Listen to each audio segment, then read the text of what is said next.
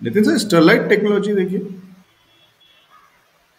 Sir 171 के आसपास ये स्टॉक चल रहा है। आईटी स्टॉक्स के अंदर में बहुत ज़्यादा गिरावट तो फ़िलहाल हम जैसे लास्ट वीक हम डिस्कस किए थे आईटी स्टॉक जो थोड़ा बचा रहेगा बिकॉज़ वो पहले ही वो गिरावट को झेल चुका है।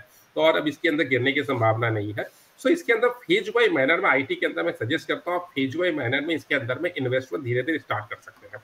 171 के आसपास ये स्टॉक चल रहा है।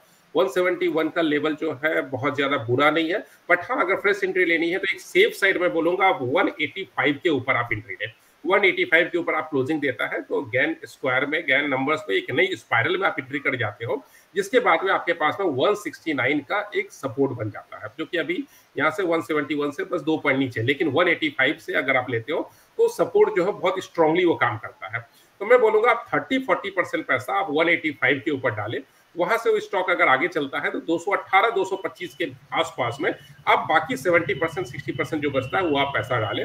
इससे क्या होगा कि आपके पास में फिर ट्रेलिंग स्टॉप लॉस आप 180 के आसपास रखो और इस स्टॉक के अंदर में बने रहो। ये स्टॉक मुझे लग रहा है एक साल के अंदर में मिनिमम टू थ्री एक साल का अगर मैं टारगेट आ रहा है इसका 307 का और अगर मैं दो साल का टारगेट अगर देख रहा हूँ तो 430 का मेरे पास टारगेट आ रहा है।